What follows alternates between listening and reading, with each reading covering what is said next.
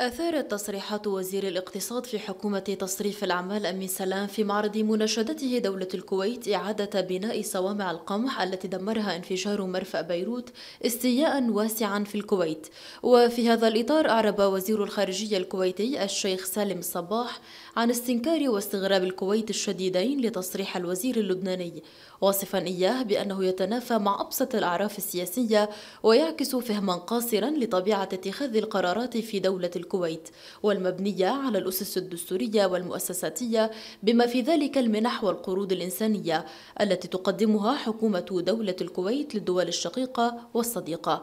وأوضح الصباح أن الكويت تمتلك سجلا تاريخيا زاخرا بمساندة الشعوب والدول الشقيقة والصديقة إلا أن دولة الكويت ترفض رفضا قاطعا أي تدخل في قراراتها وشؤونها الداخلية.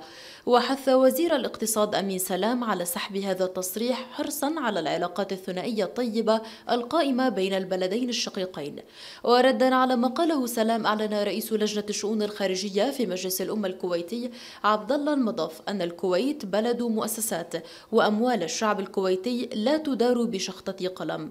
كما علق النائب في مجلس الأمة سعود العصفور على تصريح سلام معتبرا أنه لمثل هذه الأمور والتي تحدث فعليا بشخطة قلم تقدمنا قبل فترة مع عدد من النواب بتعديل يلزم الصندوق الكويتي بالحصول على موافقة مجلس الأمة قبل اعتماد القروض الخارجية. وكان الوزير سلام قال عشية الذكرى الثالثة لانفجار المرفأ أنه بعث برسالة إلى أمير الكويت عبر الخارجية اللبنانية يناشد فيها باسم الشعب اللبناني إعادة بناء إهراءات القمح. وأشار إلى أنه علم بأن في صندوق التنمية الكويتي هناك أموال موجودة ويمكن بشخطة قلم أن يتخذ قرار ببناء إهراءات لبنان في بيروت وطرابلس وبعد الرد الكويتي أوضح سلام في مؤتمر صحفي أنه قصد بمقولة شخطة قلم أن الموضوع قابل للتنفيذ وبسرعة ولم يكن القصد تجاوز الأصول مع الكويت. عبارة بشخطة قلم آه، آه، آه، مثل ما اقتضى التوضيح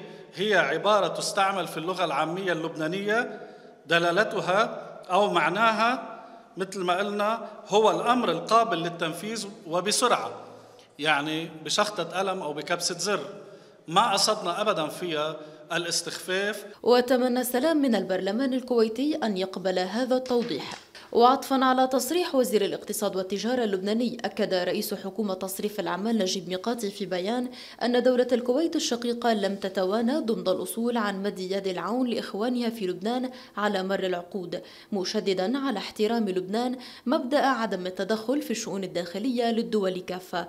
فكيف إذا تعلق الأمر بدولة الكويت الشقيقة التي تخضع آلية اتخاذ القرار فيها لضوابط دستورية وقانونية ومؤسساتية تعكس حضارة سياسية عميقة ومتجذرة في المجتمع الكويتي.